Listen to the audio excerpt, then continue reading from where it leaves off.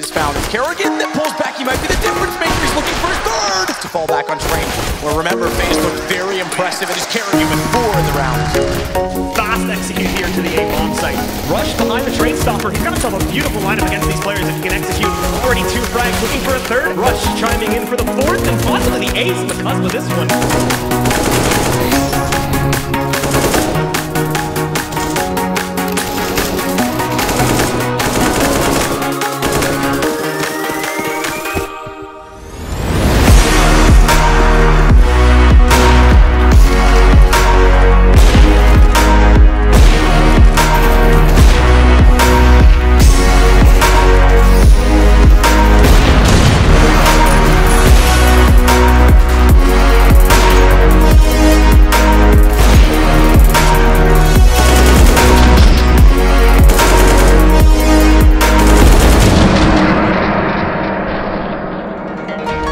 Shima need to work together in tandem to see if they can get this first pickup in the final commitment towards the side. Oh my god, Rain.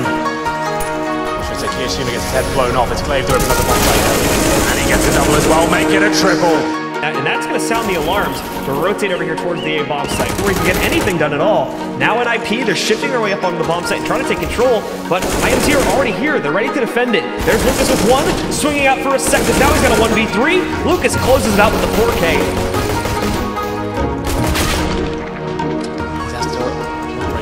Quickly. He starts to walk towards the bomb site. His device is not aware. Good shot. He slips it! And he gets both! Silence is everything! I didn't expect him to find two in that capacity. What a turn back! Astralis desperately searching for something with the Desert Eagles here.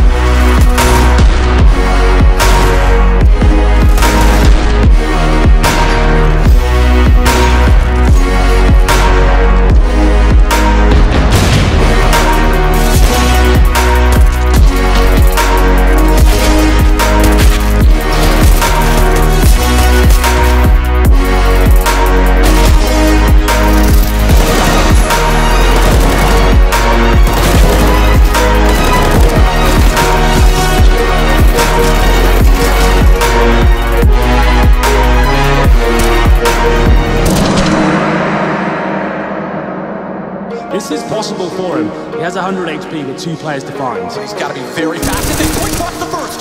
gla1ve goes down. He's going to hold this. Absolutely. He's going to hold this. Xyp9x has to run. Two seconds. Oh, he gets off it. And he knows his old teammates. He knows them well. And he knows exactly what Xyp9x wants to try and do.